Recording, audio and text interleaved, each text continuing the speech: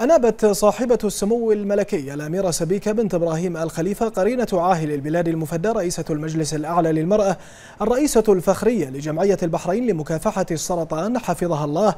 أنابت سعادة وزيرة الصحة الأستاذة فايقة بن سعيد الصالح لافتتاح المؤتمر الخليجي المشترك الثالث للسرطان الذي تقيمه جمعية البحرين لمكافحة السرطان.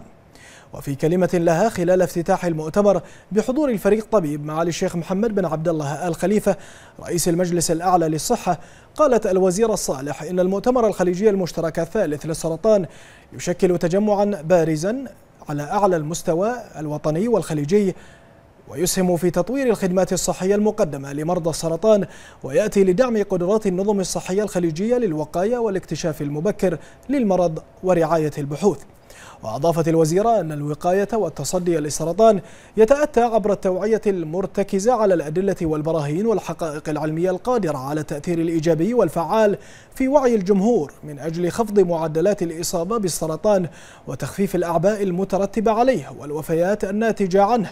إضافة إلى وضع خطط فاعلة في المؤسسات الصحية الخليجية استجابة لهذه المؤشرات وترجمة لتلك التحديات إلى الاستثمار في البرامج الصحية الوقائية وبرامج الكشف المبكر والرعاية الصحية المتكاملة بمختلف مراحلها الأولية والثانوية والمتقدمة.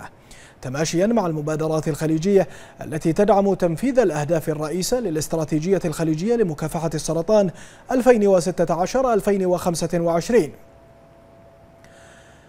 من جانبها قدمت سمو الأميرة دينا مرعد رئيسة الاتحاد الدولي لمكافحة السرطان عرضا عن جهود الاتحاد في نشر الوعي بمرض سرطان الأطفال في المنطقة والعالم.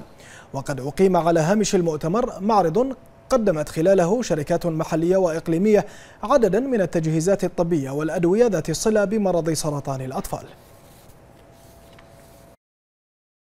حقيقة أن المعرض البحرين عند طبعا مركز سرطان اللي هي يعني تعاون مع الموضوع كله لكن القضية هو التعاون يعني الدولي والتعاون الإقليمي عشان نوصل إلى ما إلى إلى يعني مستويات من العلاج والوقايه مؤثر أكثر.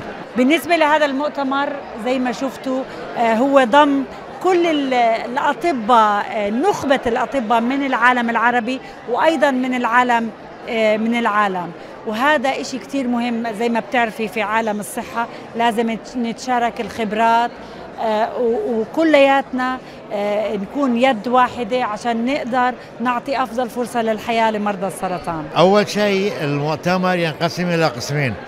مؤتمر عام يتكلم عن السرطان وتشخيصه وعلاجه بأحدث ما توصل له العلم فاللي إحنا نسميه الكرنت مانجمنت والشق الثاني اللي هو علاقة جراحة التجميل جراحة والتقويم.